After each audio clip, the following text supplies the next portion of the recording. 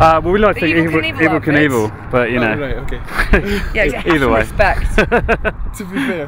Ghostbusters or evil, Evel Knievel. Knievel, R.I.P. Hi, I'm Mark. Uh, I'm on a similar journey, uh, using less uh, horsepower. I'm, I'm, c- I'm cycling from Alaska down to Ushuaia, down to Argentina.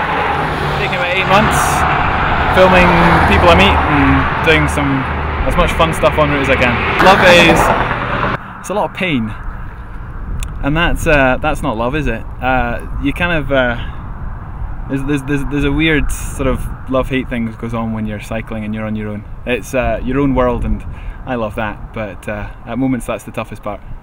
That makes no sense, but uh, That was actually a it's kinda great answer. One of the hardest parts of doing big expeditions on your own is just that, being alone. You know, you're six, eight months away from friends, family, relationships, all that stuff. I'm, I'm fully contactable and I'm in touch with friends and family, and I've probably got better, better relationships because of what I do, because everyone around me is, you know, is excited about it and there's a great buzz. Uh, but uh, but that's that's the hardest part, just being out here and leaving all that behind.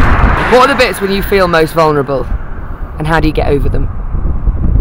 Uh, I don't know.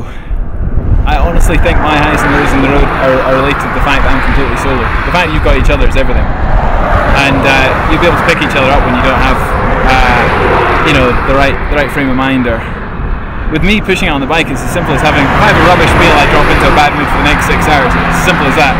But um, you're on a motorbike, so you don't need to worry about that. Just uh, make sure you, you find some good grub and uh, look after each other. Alright!